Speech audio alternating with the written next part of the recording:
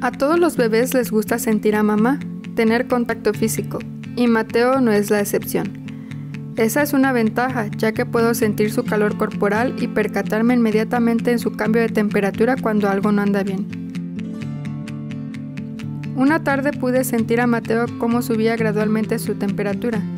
En un principio pensé que era porque el ambiente estaba muy caliente, pero cuanto más pasaban las horas esto no disminuía.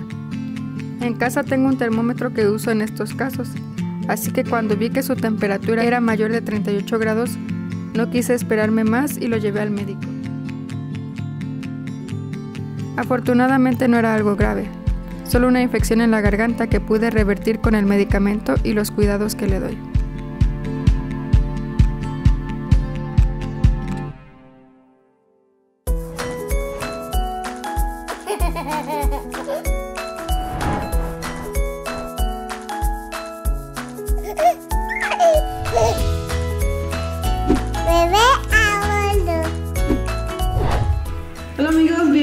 su programa Bebé a Bordo.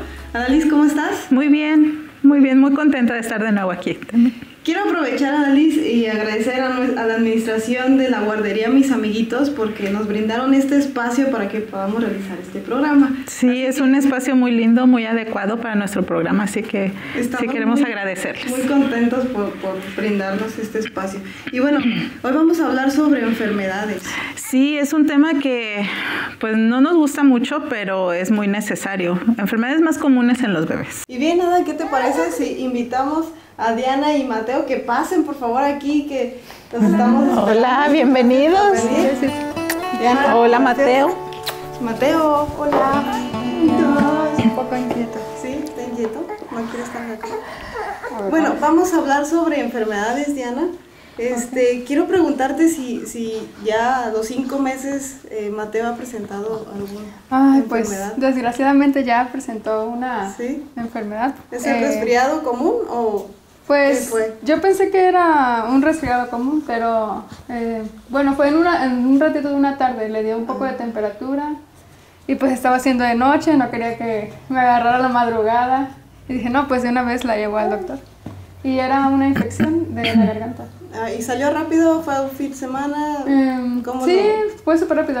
Pensé que iba a durar un poco más, bueno, un poco menos, perdón, las molestias, pero sí, esa noche batallamos, al otro día también batallamos. Yo supongo que era la temperatura y supongo que tenía dolor de cabeza o no sé. Pero pues ya. Pues bueno, rápido. eh, sabemos que estas son las enfermedades comunes, como el resfriado, pero existen otras más que, que no sabemos y a lo mejor... Sí, los, los bebés eh, necesitan tener o formar defensas y en ese proceso eh, pues se enferman mucho de cualquier Por ejemplo, Mateo va a empezar a gatear y después ponerse las manos en la boca, eso le va a traer algunas enfermedades y la fiebre es el síntoma más común de que algo anda mal en el cuerpo. Entonces es necesario que en este, eh, en este signo, que es la fiebre, pues hay que acudir al médico. ¿sí? Está, por ejemplo, la otitis, que es la inflamación del oído, que es muy molesta para los bebés. Los ¿Cómo bebés. Nos damos cuenta cuando tienen ese dolor. Sí, Porque los bebés lloran sin cesar y a esta edad ya se pueden, por ejemplo, agarrar su carita, este, llevarse la mano o recargarse sobre su mano.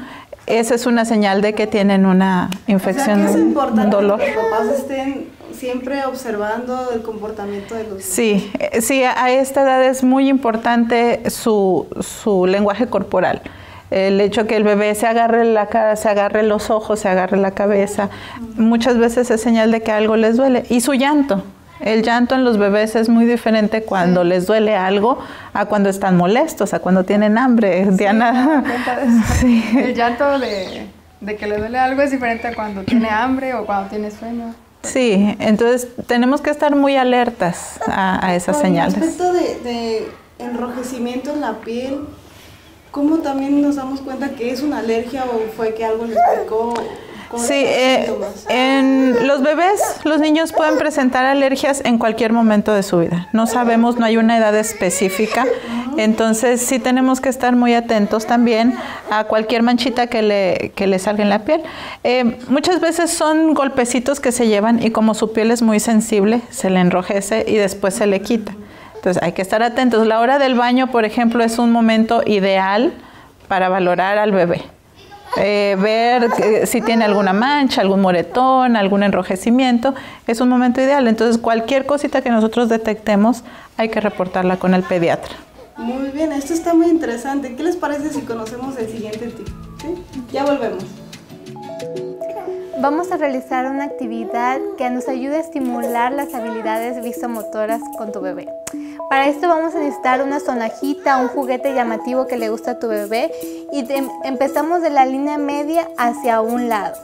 De esta manera vamos a ayudar que el bebé siga con el objeto, el objeto con su mirada y gire con su cabeza. Podemos hacerlo de la línea media hacia el otro lado y una vez que él se sienta cómodo podemos comenzar desde un lado hacia el otro. Esta actividad también la puedes realizar con tu bebé sentado viendo al espejo con el objeto girando de un lado hacia el otro y favorecerá todo el tronco del bebé. Hola, mi nombre es Steven Patterson y desde hace 5 años tengo el placer de dedicarme a la cocina. Siendo chef, he podido entender mejor el plan de alimentación que Dios tiene para nosotros.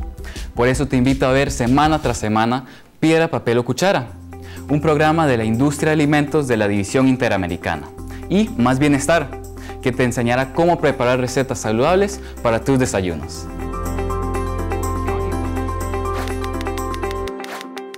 Gracias amigos por continuar aquí en Bebé a Bordo. Y bueno, seguimos platicando sobre las enfermedades y yo tengo una pregunta.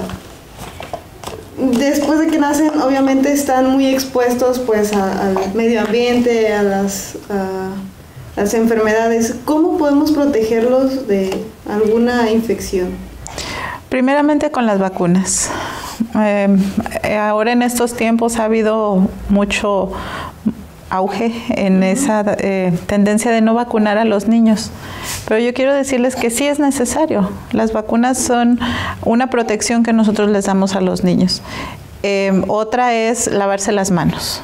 O sea, cualquier persona que vaya a tener contacto con un bebé, especialmente más pequeño que Mateo, recién nacido, hay que lavarse las manos antes de tocarlos y después de tocarlos y cualquier persona que entre a ver al bebé tiene que lavarse las manos. Es muy importante, quienes no son papás y que van a visitar a los que se están estrenando, tener muy en cuenta eso, ¿no? Tener higiene, si lo van a tocar, si, si tener el gel, no sé si es recomendable el gel. Eh, de preferencia jabón y agua. Jabón y agua. Pero si no hay en ese momento, pues entonces sí, usar el gel.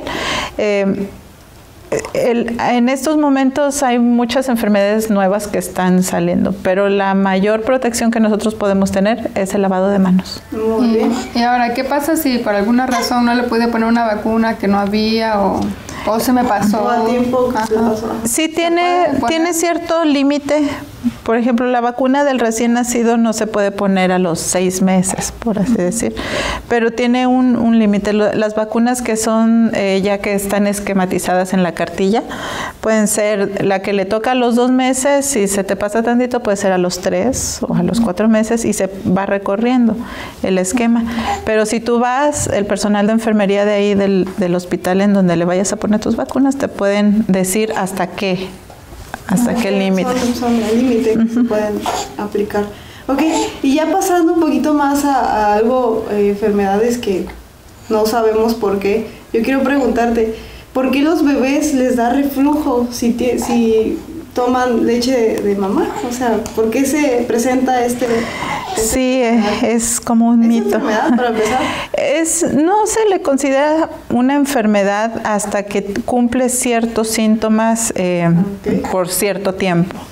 Entonces, eh, si, el, si el bebé tiene el reflujo constante, Después de tres, cuatro meses, eh, si se le hicieron todas las eh, maniobras, por así decirlo, todo el tratamiento que se le debió haber hecho y no cesa el reflujo, pues entonces ya se le tiene que dar un tratamiento más avanzado.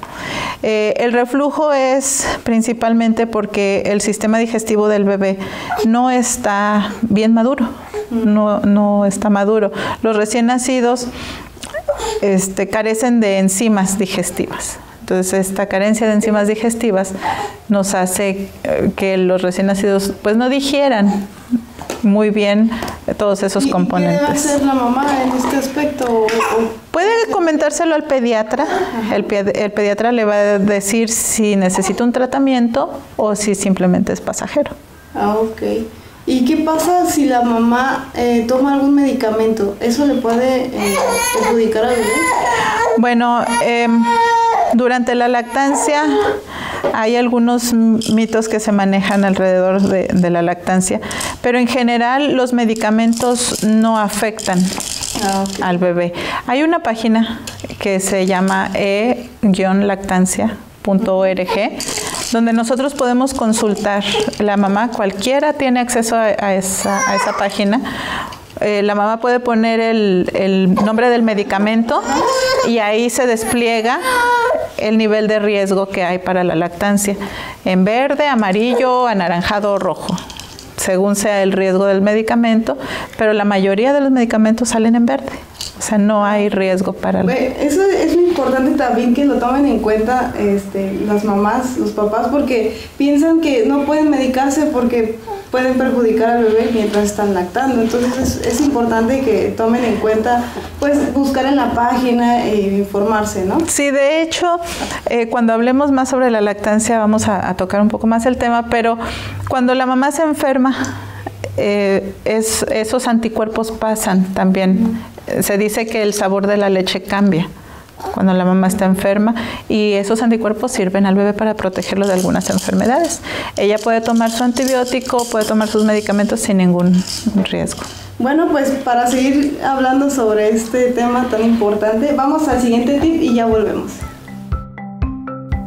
En el momento que un niño tiene fiebre, le vamos a quitar toda su ropita y una vez que ya la tenemos descubierta, vamos a ponerle una toallita con agua en su frente en la parte del cuello posterior.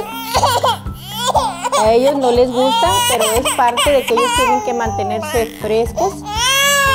Al mismo tiempo que está en la frente, en el cuello, tenemos que ponerle en las axilas. Una y la otra también. Y entonces cuando tenemos esas cuatro áreas, también tenemos que ponerle en las ingles. Tomamos otra vez agua, con otra toalla obviamente, y le vamos a poner en las ingles. No, no ponemos en el pecho ni en, ni en la espalda para no enfriarla. Nos tratamos de mantenerlo más tranquila y ellos van a disminuir su temperatura. Otra forma es el meterles a bañar continuar con nosotros, amigos. Estamos ya en la recta final del tema enfermedades. ¿Cómo te sentiste, Diana, con este tema? Pues me gustó mucho lo que dijo Dalis y bueno, tengo otra niña y son muy diferentes ambos. Volviste a empezar, ¿no? Sí, con, prácticamente.